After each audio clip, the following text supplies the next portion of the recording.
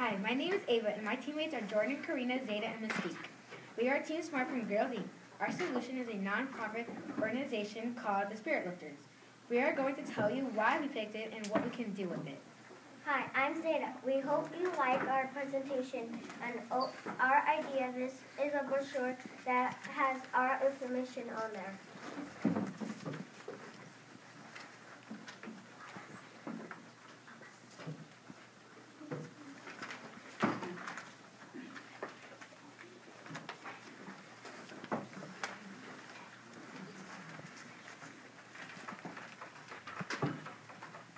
We researched all different kinds of natural disasters, but the one that caught our eyes was Oklahoma tornadoes. It caught our eyes because we thought it was so interesting how so many people were left with so little, so little. We knew we needed to help. The problem is, after all these natural disasters happen, the the people in the communities are left with nothing but the last of their hopes and family. Our has to do with lifting the spirits of the citizens that survived this disaster.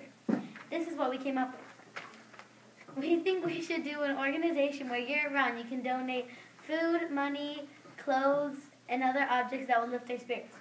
And with every care package we give, we will also be giving a free dream catcher. And um, with all the donations we get from from funds, we will also be funding their reconstruction. What is a nonprofit organization? A nonprofit organization is an organization that gets its money from funds from events and donations from other people in grants. They don't make or sell anything for a profit. We will be giving a care package that contains food, water, clothes, soap, towel, blanket, pillow, first aid kit, or other objects, and a free dream catcher.